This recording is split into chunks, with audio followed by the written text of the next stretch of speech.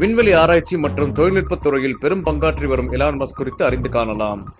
உலகின் நிஜமான அயன்மேன் என்று அனைவராலும் அழைக்கப்படுவர் எலான் மஸ்க் இவர் ஒரு பொறியியலாளர் மின்சார கார் உற்பத்தி நிறுவனமான டெஸ்லாவின் தலைமை நிர்வாக அதிகாரி ஆவார். அது மட்டுமின்றி அமெரிக்க விண்வெளி ஆராய்ச்சி மையமான நாசாவுக்கு இணையான தொழில்நுட்பத்துடன் செயல்படும் ஸ்பேஸ் எக்ஸ் நிறுவனத்தின் நிறுவனர் மற்றும் தலைமை அதிகாரியான எலான் மஸ்க் உள்ளார். தென்னாப்பிரிக்காவில் உள்ள பிரிட்டோரியாவில் மஸ்க் பிறந்தார். அவரது தந்தை பொறியியலாளராகவும் தாய் உணவு கட்டுப்பாட்டாளராகவும் இருந்தனர். அவர்கள் தங்கள் மகனின் தொழில்நுட்ப அறிவை கண்டு அதை வளர்க்க முயன்றனர். மஸ்க் தனது பத்து வயதில் கணினியை வாங்க அதில் நிரலாக மொழியை எப்படி எழுதுவது என்பதை கற்றுக்கொண்டார். பன்னெண்டு வயதில் பிளாஸ்டர் எனும் வீடியோ கேமை உருவாக்கினார். ஆயிரத்தி தொள்ளாயிரத்தி எண்பத்தி எட்டாம் ஆண்டு பிரிட்டோரியா ஆண்கள் உயர்நிலைப் பள்ளியில் பட்டம் பெற்ற பிறகு அவர் ஐந்து மாதங்கள் பிரிட்டோரியா பல்கலைக்கழகத்தில் பயின்றார். பின்னர் அவர் கனடாவுக்கு சென்றார். ஆயிரத்தி எட்நூத்தி எண்பத்தி ஒன்பதாம் ஆண்டு குயின்ஸ் பல்கலைக்கழகத்தில் சேர்ந்தார். பின்னர் பென்சில்வேனியா பல்கலைக்கழகத்தில் பொருளாதாரத்தில் இளங்கலை பட்டம் பெற்றார். இதையடுத்து அவர் ஸ்டான்ஃபோர்ட் பல்கலைக்கழகத்தில் இயற்பியல் பட்டதாரியாக சேர்ந்தார். பிறகு அவரது கனவுகளை நினைவாக்க இரண்டு நாட்களில் பல்கலைக்கழகத்தில் இருந்து வெளியேறினார்.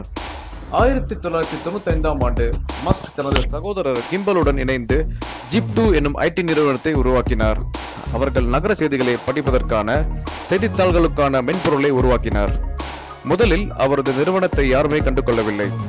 ஆனால் இறுதியில் உள்ளூர் செய்தித்தாள்கள் முதல் தேசிய செய்தித்தாள்கள் வரை தங்கள் சேவைகளை வாடிக்கையாளர்களுக்கு வழங்க ஜிப்டூ நிறுவனத்தை பயன்படுத்தி கொண்டன. ஆயிரத்தி தொள்ளாயிரத்தி தொண்ணூத்தி ஒன்பதாம் ஆண்டு ஜிப்டூ நிறுவனத்தை கேம்பக் அல்டாவிஸ்டா எனும் வலைத்தேடு பொறி நிறுவனம் முன்னூத்தி நாற்பது மில்லியன் டாலர்களுக்கு வாங்கியது. பீட்டர் தியேல் மற்றும் மேக்ஸ்வெல்ஸ் ஆகியோருடன் மஸ்க் கூட்டணி சேர்ந்தார். பின்னர் அவர்களை ஆன்லைன் நிதி சேவைகள் மற்றும் மின்னஞ்சல் கட்டண நிறுவனமான எக்ஸ் டாட் காம் என்னும் நிறுவனத்தை தொடங்கினார். இரண்டாயிரமாம் ஆண்டில் எக்ஸ் டாட் காம் நிறுவனம் அமெரிக்க மென்பொருள் நிறுவனமான கான்ஃபினிட்டி என்னும் நிறுவனத்தோடு இணைந்தது. இந்த நிறுவனத்தோடு இணைந்து அவர் பேபால் என்னும் ஆன்லைன் பணிமாற்றத்துக்கான முறையை உருவாக்கினார். மஸ்க் பேபால் நிறுவனத்தின் தலைமை நிர்வாகியாகவும் தலைவராகவும் ஆனார். அந்த நிறுவனத்தின் நூத்தி எண்பது மில்லியன் மதிப்புள்ள பங்குகளை மஸ்க் தனது கைகளில் வைத்திருந்தார்.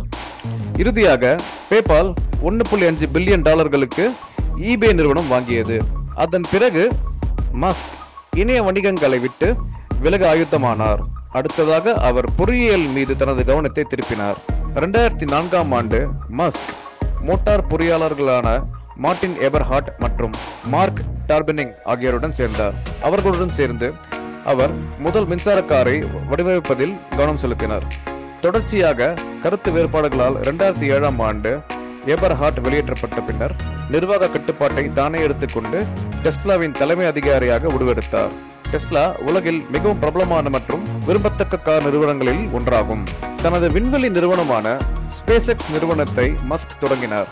இதன் மூலம் நாசா மற்றும் அமெரிக்க விமானப்படையுடன் பல ஒப்பந்தங்களை மேற்கொண்டார். ராக்கெட்டுகளை வடிவமைப்பது ராணுவ பயணங்களை மேற்கொள்வது போன்றவற்றை மஸ்க் செய்ய தொடங்கினார்.